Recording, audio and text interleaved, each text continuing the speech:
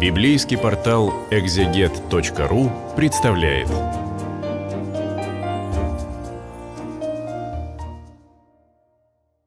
Приветствуем вас, дорогие братья и сестры, на библейском портале Экзегеты. Мы продолжаем изучение Евангелия от Матфея. Сегодня читаем 11 главу. «И когда окончил Иисус наставление 12 ученикам своим, перешел оттуда учить и проповедовать в городах их». Вот до этого в 10 главе мы слышали наставление, которое Спаситель предлагал своим ученикам, отправляя их на проповедь. А теперь мы видим, что когда вот они идут э, проповедовать, то и сам Спаситель, он тоже не бездействует, он идет проповедовать в городах их. А в городах их это кого имеется в виду? Имеется в виду иудеев, которые непосредственно окружают и находятся рядом с Господом, с его учениками, то есть проповедуют ученики, но и сам Спаситель тоже проповедует. А дальше. Иоанн же, услышав в темнице о делах Христовых, послал двоих из учеников своих сказать ему. То есть вот святой Иоанн Креститель, он уже в темнице. Об этом было краткое упоминание э, в прежних главах. Получается так, что вот в начале служения святого Иоанна Притечи, а потом, когда его уже в темницу сажают, то тогда начинается служение Иисуса Христа, но сам святой Иоанн, он поддерживает связь с учениками. Ученики приходят к нему. Кстати, где вот эта темница сохранилась, да, сохранились эти места, это древняя крепость Махерон, которая а, не очень далеко от Средиземного моря находилась, и э, там он содержался в очень жестких условиях, но для самого святого Иоанна это, в принципе, было привычно, потому что он аскет, который не искал никакого комфорта, не требовал к себе особого э, внимания. И вот к нему приходили ученики и послал он двоих из учеников своих сказать ему, то есть Христу, «Ты ли тот, который должен прийти или ожидать нам другого?» И тут вот немножко возникает такое недоумение, ну неужели сам святой Иоанн Притеча, который э, прозревал, так сказать, вот удивительные истины, тайны, он вдруг засомневался, заколебался? На самом деле нет – ведь святой Иоанн созерцал Духа Святого в виде голубя, нисходящего на Спасителя, и святой Иоанн, как это свидетельствует э, Евангелие от апостола Иоанна Богослова, да, он, указуя на Христа, говорил, вот Агнец Божий, который берет на себя грех мира. И, соответственно, первые ученики Господа, они именно от святого Иоанна перешли, как бы были переданы от Иоанна Притечи Господу. Поэтому, конечно уж, он-то не сомневался, но сомневались его ученики. И, эм, ну, такое бывает, понимаете, когда э, вот есть какой-то э, прекрасный учитель, да, аскет, подвижник, святой человек, и э, те, кто к нему собираются, они располагаются уважением, почитанием, они воспринимают его слово как выражение истины и иногда слишком привязываются к человеку. Они привязываются к нему как к человеку, и может быть так, что в каком-то смысле идеализируют его, и в этой идеализации он э, становится у них как бы первостепенным, а другие, так сказать, вот Э, немножко уже в стороне. Это вообще вот наши проблемы, когда или там какого-то проповедника кто-то выделяет только одного, да, или какого-то духовника, вот только вот он и все, значит, э, больше там никого. И получается так, что у тебя в твоем мировоззрении э, как бы вся жизнь церковная, она представляет собой голое поле, на котором произрастает только один прекрасный цветок, тогда как у Бога в его премудром попечении о мире и о церкви, у него все-таки не один цветок в голой пустыне, а множество разных цветков, да, э, прекрасных произрастений вот этих э, деревьев, которые приносят плоды, и разные, да, разные для разных, но в то же время есть некая соборность, некое взаимодополнение.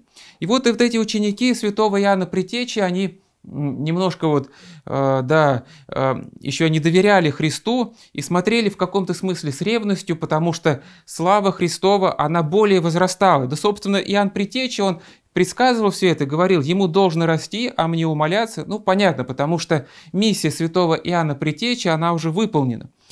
Но для того, чтобы вот не как бы не травмировать своих учеников, вот этих еще несовершенных, не дошедших до этого совершенного понимания, Святой Иоанн э, их направляет ко Христу, чтобы э, как бы от своего лица задать вопрос. Да? То есть если э, апостолу Андрею, Иоанну Богослову, он напрямую говорит, вот Агнец Божий, который берет на, на себя грех мир, то тут он посылает, это вот другие, потому что здесь ученики, он посылает двоих из учеников сказать ему, ты ли тот, который должен прийти, или ожидать нам другого. И вот они приходят и задают этот вопрос, и сказал им Иисус в ответ, пойдите и скажите Иоанну, что слышите и видите. То есть Спаситель не пытается морализаторством на них каким-то давить, а отталкивается от э, реальных своих дел. Значит, пойдите расскажите, что видите и слышите. Слепые прозревают,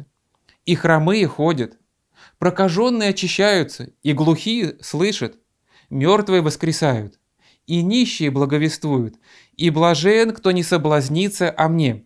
Э, Спаситель, он э, являет э, такой спектр чудесных, благодатных своих действий, восполняя немощи, нужды людей, исцеляя любые болезни, даже воскрешая мертвых и даже нищих людей, которые по представлениям того времени, нищие вроде ни к чему не способные, да, не могут быть учителями, проповедниками, но они избираются для благовестия, потому что э, обретают от Господа особые благодатные дары.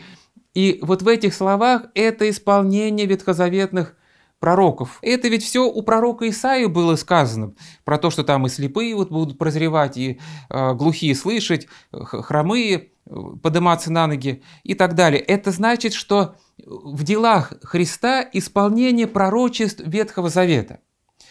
Поэтому, когда ученики Иоанна наглядно это увидят, да, то для них становится очевидным и ответ, и Спаситель говорит, и блажен, кто не соблазнится мне, то есть, что именно во Христе есть исполнение Ветхого Завета. Когда же они пошли? Иисус начал говорить народу об Иоанне. Что смотреть ходили вы в пустыню? Трость ли? Ветром колеблемо. То есть вот мы видим, что а, Господь как раз поясняет другим людям, что на самом деле Иоанн Предтечи – это не трость ветром колеблемый, то верит он во Христа, то не верит, нет. Он нисколько в этом не колеблется. Все, что было, это сказано э, ради учеников Иоанна. Вот и ученики еще колебались, как трость, но не сам Иоанн. Что же смотреть ходили вы? Человека ли одетого в мягкие одежды? Носящие мягкие одежды находятся в чертогах царских.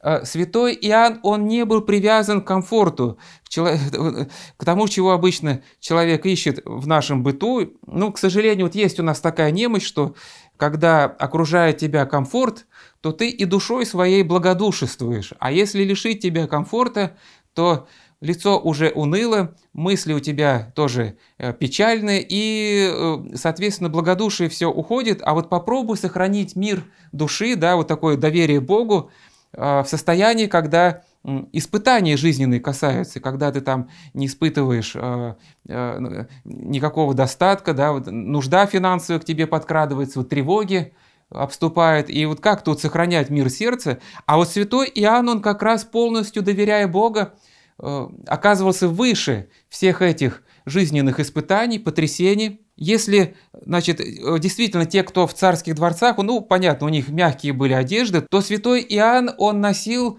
э, кожаный пояс, да, и одежда из верблюжьей шерсти, то есть очень жестко, это строгий такой аскет. Что же смотреть ходили вы? Пророка? Да, говорю вам, и больше пророка. А, а почему больше пророка? Потому что э, все пророки, они предвещали о том, что будет. А пророк Иоанн, он не просто предвещал, а он непосредственно встретил. И он даже сподобился прикоснуться ко Христу, когда крестил его в водах Иордана. «Ибо он тот, о котором написано, «Сей я посылаю ангелы моего пред лицом твоим, который приготовит путь твой пред тобою». Вот это из пророка Малахии, буквально слова об ангеле, который посылается пред лицом грядущего Христа и приготовит путь, поэтому мы называем святого Иоанна предтечей. И он действительно ангел в смысле равноангельная жизнь, которая э, как раз вот выше вот этих чувственных потребностей всяких. «Истинно говорю вам, — продолжает Спаситель, — из рожденных женами не восставал больше Иоанна Крестителя, но меньше в Царстве Небесном. больше его. А вот эти слова, они весьма непростые для толкования.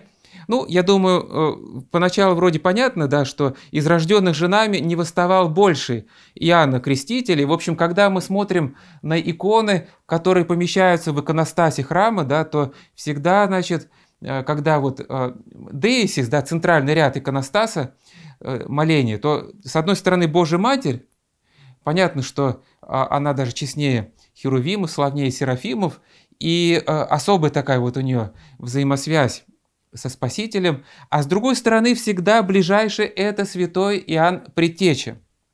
И э, я думаю, что это понятно, что значит, действительно, да, из рожденных же нами не восставал больше, потому что весь цвет ветхозаветной святости – это пророки, пророки и праведники. И среди вот этого цвета ветхозаветной святости э, самый красивый, благоухающий святостью цветок – это вот именно святой Иоанн Притечи, который встретил самого Христа. Ну а дальше-то что значит? Но меньший в Царстве Небесном, больше его. А вот это действительно проблема для толкования. Почему? Потому что здесь возможны самые разные такие э, как бы подходы к этому толкованию. Ну, скажем, самый простой такой, как бы, при, э, вот, это говорится когда еще? Когда святой Иоанн жив, да?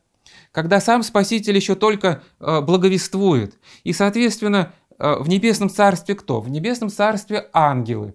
Мы, конечно, сказали, что святой Ян Притечи называется ангелом, да, но ангелом он называется сравнительно с нами, поэтому он больший среди э, рожденных женами. Но в это самое время на небесах кто в небесном царстве? Ангелы. И все-таки люди уступают по святости ангелам, в тот момент еще уступали те, кто находились на земле. И э, святой Иоанн Притечи получается так, что он как бы меньше ангельских чинов. Это вот один такой пласт толкований, но тут могут возразить, что ведь речь идет о рожденных женами, тогда как ангелы, они вовсе не рождены никакими женами, это э, духи, которые созданы э, в самый первый день творения, да, и поэтому сравнение тут не очень подходящее. И тогда выступает вперед а, второе объяснение о том, что а, святой Иоанн Притеча – это все-таки вот еще как бы продолжение ветхозаветной святости, а Царство Божие, грядущее в силе, как говорилось а, Господом ученикам, о том, что вот есть те, которые увидят Царство Божие, грядущее в силе. Это те блага Церкви Христовой, которые дарованы будут э, сподобившимся Пятидесятницы потом, значит, от апостолов, принимающих крещение, прочие таинства, и новозаветная святость, которая особенно просияла в лице таких, как вот преподобный Сергий Радонежский, преподобный Серафим Саровский, святитель Николай Чудотворец, она все-таки выше ветхозаветной святости. И хотя из рожденных женами не восставал больше Иоанна Крестителя, вот до самого этого момента, когда еще святой Иоанн жив, но все-таки благо, царство, Божие, даруемое через таинство крещения уже в христианской церкви, которая явится как небо на земле, они все-таки больше.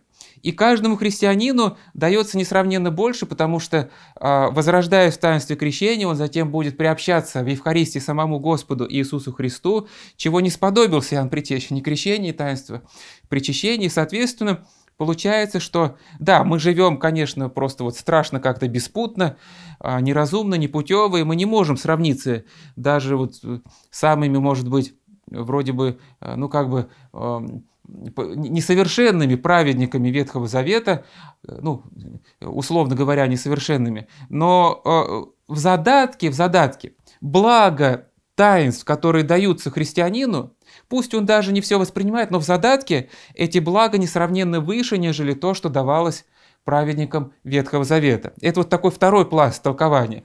А третий, может быть, вот именно об этом-то идет здесь речь, и как это объясняет святой Иоанн Златоуст, и как-то вот толкователи это у нас обычно современные игнорируют, но святой Иоанн Златоуст, блаженный Феофилакт болгарский, некоторые другие, они говорят, что Христос-то по смирению о самом себе здесь говорит – да, то есть э, речь идет, значит, о рожденных женами, да, понятно, что все родились от жен, но при этом э, у всех есть еще и Отец, кроме по плоти, да, кроме самого Господа Иисуса Христа. По плоти Отца у него не было, поэтому, э, может быть, и сказано из рожденных вот женами, ведь в Ветхом Завете там э, говорил, что Авраам родил того, того, того, да, там, или там, и от этого-то родились еще такие-то, как бы по мужской линии. А здесь вот именно рожденными женами, и поэтому Спаситель, он тоже как бы в это включается, и он по человеческому рассуждению рассматривался как меньше Иоанна Притечи. Он младше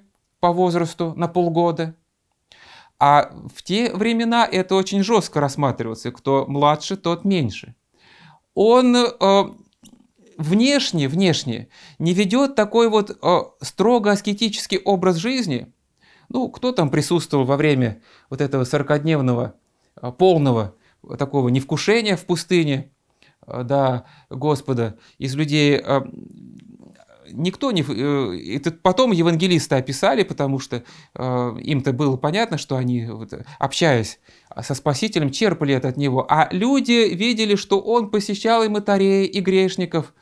Святой Иоанн Притечи не ходил по мытарям и грешникам, да, не участвовал в их трапезах, он жесткий такой строгий аскет, и Спаситель на его фоне в плане аскезы выглядел как меньше, но мы это понимаем, что Господь Иисус Христос не, не причастен падший, падшему состоянию человеческой природы, поэтому не нуждался в такой аскезе для побеждения страстей, ибо страстей греховных во Христе не было. Но по человеческому разумению он выступает как меньший. И вот так вот э, смиренно отзываясь о себе, Спаситель говорит, что меньший в Царстве Небесном больше его. Поэтому и слушаться надо именно Христа, ибо Он больше, если брать вот категорию небесного мира, ибо Христос, который явлен э, в немощной человеческой плоти, все-таки является Сыном Божиим, Сыном Бога Отца Небесного, и поэтому почитать и нужно Сына Божия как вот большего, нежели святой Иоанн Предтеча. От дней же Иоанна Крестителя до ныне Царство Небесное силою берется, и употребляющие усилия восхищают его. Вот так сам Господь Иисус Христос говорит, что а, на самом деле вот вся дальнейшая традиция христианская, она будет напрямую связана с аскезой. Да, мы не можем подняться до уровня святого Иоанна Притечи, но э, нам предлежит борьба с грехом. И неважно, монах ты или мирянин, если ты не являешь в своей жизни аскезу, то ты э, не сможешь сохранить благополучие своей семьи. Потому что, чтобы в семье был мир, ты должен уметь побеждать в себе раздражение. Чтобы э, в твоем воспитании детей твоих э, сохранить вот все в правильной такой вот э, гармонии взаимоотношений родителей и детей, чтобы э, дети тебя слушались, и ты умел правильно донести им слово. Ты должен научиться не выходить из себя и при этом сохранять трезвый ум, да, вот ясное видение ситуации. И Тут важно побеждать свои страсти, потому что когда страсти прорываются наружу, они портят все. Они портят взаимоотношения мужа и жены, родителей и детей, соседей друг с другом и вообще все вокруг. То есть все проблемы человеческие на самом деле из-за страстей, из-за страстей гордыни, осуждения, зависти, ревности, блудных поползновений и так далее. И для христианина нет иного пути к благополучию, кроме как вот победа над своими страстями и борьба с ними. Поэтому Спаситель говорит, что Царство Небесное силою берется, и употребляющие усилия восхищают Его. Ибо все пророки и закон прорекли до Иоанна. То есть э, все вот это вот ветхозаветное, оно только до Иоанна Притечи. Вместе с ним все это заканчивает. Э, историческая миссия Ветхого Завета завершилась.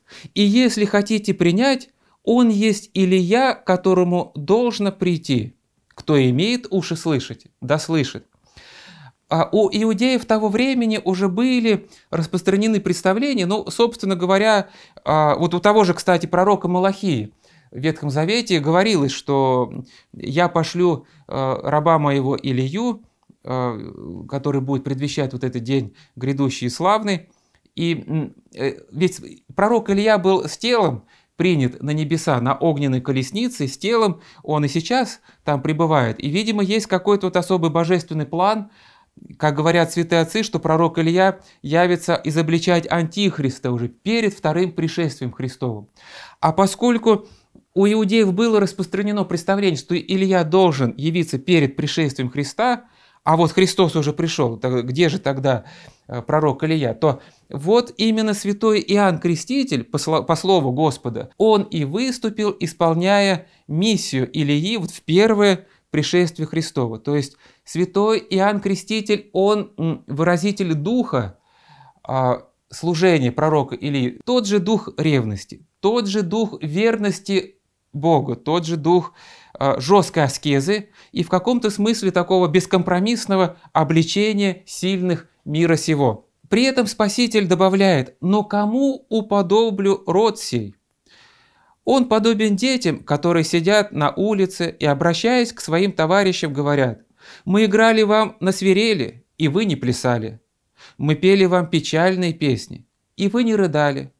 Ибо пришел Иоанн не ест, не пьет, то есть, пожалуйста, строгий аскет, и говорят, в нем бес.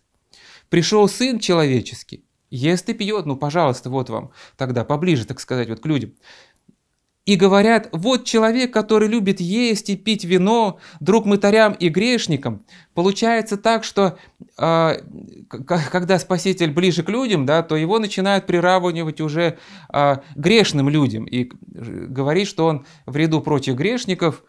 И люди ведут себя как капризные дети. Ты им, значит, а, подарок какой-то, нет, а им такой не нравится подарок, да, ты им со строгостью, им это тоже не нравится. Как завершает сам Спаситель, и оправдана премудрость чадами ее. Конечно, Спаситель тут говорит таким образно-аллегорическим языком, и, может быть, те, кто слышали, они еще не совсем понимали, что это такое оправдана премудрость чадами ее. А дело все в том, что ведь Христос – это и есть сама премудрость Божия, как затем напишет апостол Павел, Христос – Божья сила и Божья премудрость. И в словах Христа являлась Божья мудрость, и вот он произносит вот эти, где-то и обличения даже, да, нашего человеческого неразумия, что как детям капризным невозможно угодить, а все-таки силою берется Царство Небесное. И все-таки именно э, во Христе оправдание людей, потому что святой Иоанн Креститель именно к нему пытался всех подвести. И Спаситель говорит, что вот премудрость, она оправдывается в чадах ее, то есть те, которые будут принимать премудрость Христову, которые станут постигать смыслы Евангелия, вот в их лице и оправдана премудрость, явившаяся на земле.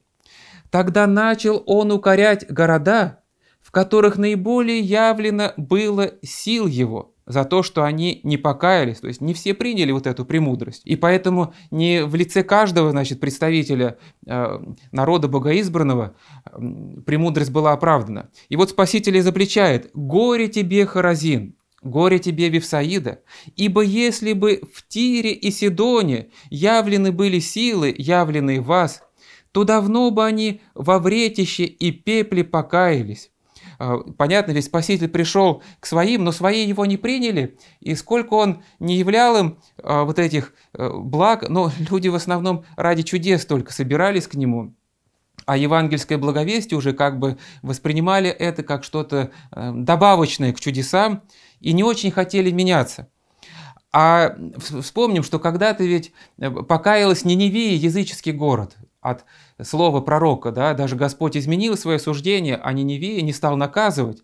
Вот так же и Тир и Сидон, если бы там были явлены такие силы, то они тоже явили бы удивительное покаяние, а свои, а свои оказались ну, теплохладными. «И ты, Капернаум, до неба вознесшийся, до ада не свергнешься, Ибо если бы в Содоме явлены были силы, явленные в тебе, то он оставался бы до сего дня. Но это вообще страшные слова, потому что Капернаум назывался своим городом, и там, значит, и, э, и дом тещи Петра, ну, самого Петра, и э, вроде бы много там разных вот исцелений, и начальник синагоги к нему обращается. Но речь идет обобщенно, да, то есть отдельные представители приняли Христа, даже последовали за ним а другие, а другие, ну так вот, прошли мимо, и, соответственно, такое э, строгое суждение. Ведь народ должен был весь принять, это же богоизбранный народ, а оказалось нет.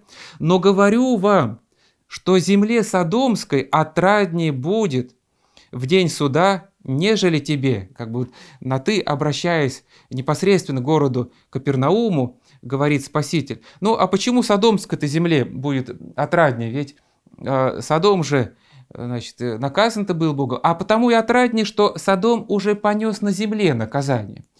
И э, вот те страшные муки, которые э, обрушились на Содомлян, они в каком-то смысле ну, несли функцию очищения их, и э, чтобы дважды, так сказать, вот не судить, не наказывать, получается, что участь Содомлян, если они каялись в последние, особенно свои часы жизни, когда вот эти страдания на них э, обрушились, то это, может быть, как-то даже облегчало их участь вечности. И получается, что земле Содомской отраднее будет, не говорит он, что э, совершенно все содомляне там спасутся, но отраднее, то есть те, кто вроде бы не впадали в такие тяжкие грехи, но отвергли Христа, им будет намного хуже. В то время, продолжая речь, Иисус сказал, «Славлю Тебя, Отче, Господи неба и земли, что Ты утаил сие от мудрых и разумных и открыл то младенцам. Ей, Отче, ибо таково было Твое благоволение». Спаситель прославляет Бога Отца некую такую премудрость божественную, э, премудрость Бога Отца. Э, почему? Потому что Господь, Он действительно э, призывает тех, кто ну, совершенно простой в отношении к ближним, тот, кто вот как младенцы простые. И святые отцы не говорят, что нам в духовной жизни нужна э, младенческая, детская простота. Вот когда мы обращаемся к Господу, вот не надо придумывать каких-то красноречивых таких, э, риторически правильно составленных молений, а пусть молитва твоя Господу будет как вот искренний вздох сердца. Или вот как ребенок, который бежит к маме, да, или у папы просит помощи, и сразу вот от сердца обращается. Вот так же наша молитва к Богу должна быть как э, простой, искренний вздох вот младенческого сердца, обращенного к родителю. А мудрые и разумные, они, к сожалению, не приняли Господа, и поэтому вот эта вот мудрость, э, она оказа, прошла мимо них. Это те самые книжники, фарисеи, саддукеи, которые казались самыми учеными, самыми разумными – но тайны спасения открылись младенцам в вере. И дальше Спаситель произносит очень важные и очень сокровенные слова, которые нам особенно важно всегда вот помнить и хранить их. Этот евангельский фрагмент, он всегда читается на молебнах, посвященных преподобным. Ну и вообще, а, в храмах, когда вспоминается память преподобных отцов. И здесь буквально сказано, Господь говорит, «Все предано мне Отцом моим». Это значит, что Господь, Бог Отец, Он все веряет в руки своего Сына. И Христу действительно все предано в этом мире. А мы же со Христом, мы христиане, мы носим на себе имя Христово, а крещены в Его имя, мы принимаем в таинстве причащение Его тела и кровь. И поэтому, если мы действительно храним благодать Христова, то Он всегда с нами, а в Его руки предано все. Это значит, что Он никогда нас не оставит, и ничего не случится с нами вредного для нас. Все в руках Божьих, все предано мне Отцом моим. И никто не знает Сына, кроме Отца. И Отца не знает никто, кроме Сына, и кому Сын хочет открыть. Есть э, тайна внутри троечной божественной жизни. Отец знает Сына в совершенстве, Сын знает Отца. И это вот божественное ведение внутри Троицы, которое считалось всегда так, что вот каков Бог, мы не можем рассуждать. Но тут Спаситель приоткрывает. И кому Сын хочет открыть. Оказывается, познание Троицы открывается людям. И есть изволение Спасителя, как воплотившегося Сына Божия, чтобы приоткрыть тайну внутритроечной жизни людям. Людям открывается боговедение, богопознание. И это действительно в христианской истории исполнилось, потому что многие святые отцы, просвещенные Духом Святым, вот по слову Христа, они приоткрыли тайну Троицы, особенно в IV веке, такие святые, как Василий Великий, Григорий Богослов, Григорий Низкий, святой Афанасий Александрийский и прочие святые отцы, они раскрывали вот эти тайны божественной жизни и боговедение, богопознание теперь даруется людям. А дальше Спаситель, он еще более важный говорит, «Придите ко мне все труждающиеся и обремененные, и я успокою вас. То есть Спаситель действительно подает нам свой божественный покой, мир, но это мир э, как избавление от греховных страстей. Страсти раздирают человеческое естество. И только когда божественная благодать касается сердца, там воцаряется подлинная гармония. Гармония как единение человека с Богом, когда выстраивается гармония человеческой души э, с божественной благодатью, то тогда гармония наступает во всем, и все вокруг тебя тоже преображается. Итак, придите ко мне все труждающиеся и обремененные, и я успокою вас. Возьмите иго мое на себя и научитесь от меня, ибо я кроток и смирен сердцем, и найдете покой душам вашим. Да, заповеди Христовы о смирении, о терпении, о кротости – о том, что нужно прощать врагам, любить, любить всех, даже тот, кто казался тебе самым таким ненавистником, молиться о них, это кажется игом. Но когда ты действительно воспринимаешь это иго и учишься от Христа, а Христос, Он самый кроткий и самый смиренный, то тогда ты обретаешь покой своей душе. И вот это воплотилось в жизни преподобных отцов, поэтому мы видим, Э, сейчас, что э, в дни их памяти, вообще в молебнах, посвященных преподобным, э, читается именно этот фрагмент из Евангелия. «Научитесь от меня, ибо я кроток и смирен сердцем, и найдете покой душам вашим, ибо иго мое благо, и бремя мое легко». Вот это удивительные слова, которые нужно всегда помнить, что заповеди Христовы кажутся поначалу тяжкими, но когда ты действительно Э, устремляешься туда, оказывается, что они-то подают тебе подлинную свободу. А вот жизнь по стихии мира сего, она кажется свободной, легкой, но когда человек погружается туда, ему становится тяжко и невыразимо мучительно. Вот он говорит, я вот хочу и курю, да, я там хочу и пью. А потом оказывается, что э, если задать даже вопрос, а ну, а если ты такой вот свободный, да, то ты вот можешь не курить, вот можешь ли ты не пить, отказаться от какой-то блудной страсти? Ой, нет, не могу. Значит, ты поработил себя этим страстям, и оказывается, ты не свободен. А вот если возьмешь на себя иго Христова, которое кажется тяжким, потому что нужно действительно преодолевать эти греховные страсти, то через них и обретаешь подлинную свободу, простор сердца, простор души, в очищенное сердце не сходит божественная благодать, она приносит с собой покой. «Ибо иго мое благо, и бремя мое легко», говорит Спаситель. На этом, братья и сестры, мы завершили чтение 11 главы. Э, дай Господь нам стараться хранить заповеди Божии, которые действительно приносят нам мир, покой и удивительную божественную гармонию. И да сподобит нас Господь шествовать именно по этому пути, чтобы обретать подлинную свободу. Всего вам доброго. Храни вас Господь.